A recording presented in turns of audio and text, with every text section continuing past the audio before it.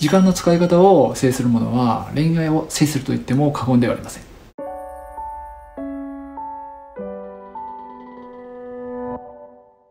はい皆さんこんにちはりゅうきです。今日は男性から愛情が増す時間の使い方というお話をしていきたいと思います。大好きな彼がいたとしてもなかなか会えない時間ってありますよね。忙しい彼とか遠距離の彼とか、まあ、訳ありの恋愛の彼とか特にそういう彼だとなかなか会えなかったりします。そんな時に男性から愛情が増す時間の使い方があるんです。皆さん知りたくないですか？ですので今日はそんな男性からの愛情が増す時間の使い方についてお話ししていきたいと思います。ではまずこのようなご質問を LINE の方でいただいたのでご紹介させていただきますね。リュウギさんはじめましてこんばんは。はいこんばんは。初めてメッセージさせていただきます。ありがとうございます。私には5つ年上の39歳の彼がいます。付き合って2ヶ月です。彼はあまり LINE に豆ではなく仕事が忙しいのもあって連絡を取っても返信は3日に1度といった状況です。私は連絡を毎日したいと思っている派です。返信がないのに私の方からガツガツ行くのも逆に印象が悪くなりそうなので自重しているのですがこういう彼の場合どうしたらいいかぜひアドバイスが欲しいです。よろしくお願いします。というご相談です。ありがとうございます。なるほど。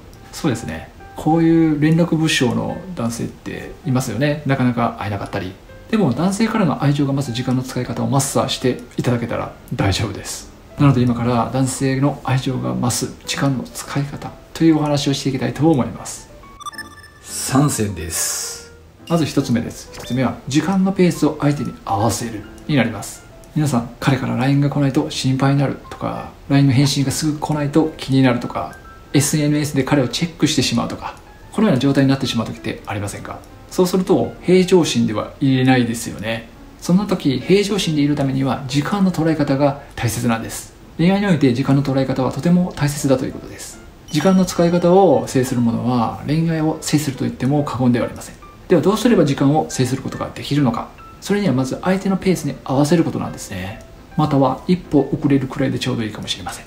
例えば相手が3時間単位で行動するなら皆さんは3時間単位もしくは4時間単位で行動する。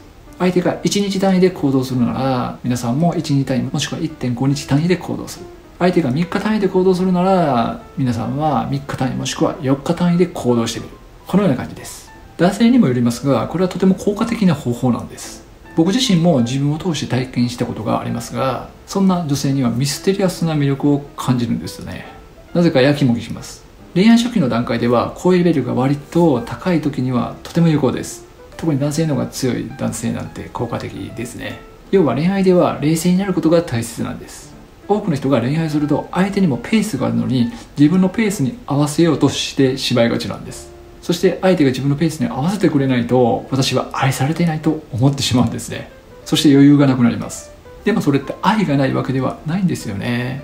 相手が自分のペースに合わせてくれなくても別に皆さんは愛されているからです。多くのケースではそうです。つまり相手は皆さんとの時間の捉え方が違うだけなんです。だから皆さんが時間の捉え方をしようとするだけでその彼との距離感がいい感じになるということなんですね。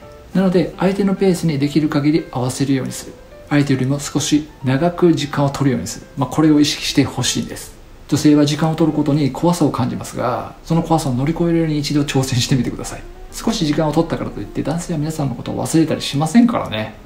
要は怖さの向こう側に行けた時皆さんの世界がシュートしてくるんです。それに常に焦らずに冷静に行動することで余裕が生まれて恋愛を制することができるということです。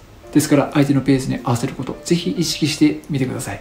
なかなかこれをやってる人は少なかったりしますからね。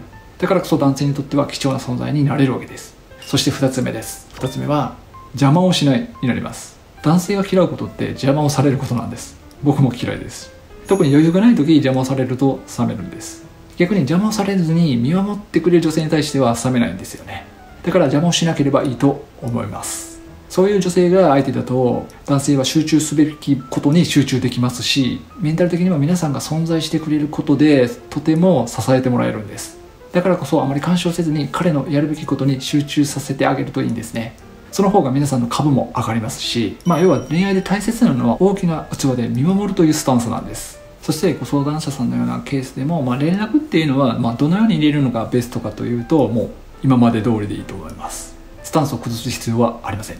今まで通りの感覚で今まで通りの内容で OK です。まあ自信がない時とか余裕がない時はもう変に近づこうとしないことですね。今まで通りでいいです。そして余った時間は自分磨きをしてエネルギーを上げておくとなおいいです。やりたかったことをやるとかあり方をシフトするとか恋愛以外を楽しむとか他の男性にモテるようにするとか仕事を頑張るとか皆さんのモチベーションが上がることなら何でも大丈夫です。皆さんのモチベーションが上がると皆さんのエネルギーは上がり皆さんは輝いていきますから。すると彼は皆さんにより惹かれる。ということです。そして3つ目です。3つ目はザイガルニック効果を利用する。になります。なんか変わった名前ですよね。人というのは脳の構造的に作業が完了するとすぐに頭から消えてしまうんです。ですが作業が途中で頓挫させられたり中断されるとそれが気になって頭から離れなくなるという性質があるんですね。例えば連ドラなんてそうですよね。途中で終わっちゃうから続きがとても気になります。そして第2話第3話と見てしまうんですね。僕も連ドラは大好きです。中途半端な状態で終わらせるというのはそういった脳の仕組みを狙っているんです。これは結構恋愛に応用が効くんですね。例えば後日のデートの約束事もそうなんです。この日に〇〇を食べに行こうと約束していたらそのタスクが完了するまで相手の脳の中に残るという感じなんです。なのであえて中途半端にして完了させないようにするということを考えていろいろ実施してみるといいわけです。まあ使えるテクニックとしてはデートの約束もそうなんですが LINE も使えますね。まあ、単純に返事をしないというだけではなくポイントは話が盛り上がったところや相手が気になる話になった時あえて時間を空けるということなんです。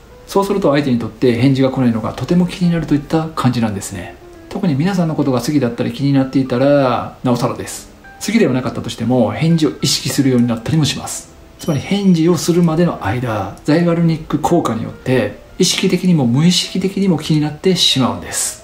まあ相手の頭の中に浮かぶだけでもかなり恋愛的には有利ですよね。常に妄想させることになりますから。男性には妄想させたもん勝ちです。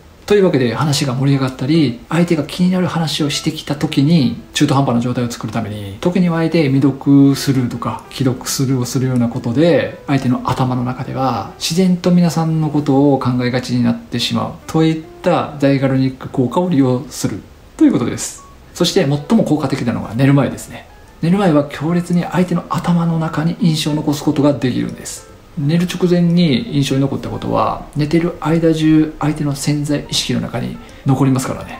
つまり寝る直前に LINE をしてしかも話が盛り上がったり気になる話をしている途中、まあ、中途半端な状態で寝たふりをする。そして相手の潜在意識の中に記憶を残す。ということです。まあ姑息な手ですけどね。するととても効果があります。是非試してください。以上が相手からの愛情を増す時間の使い方3選になります。いかがでしょうか。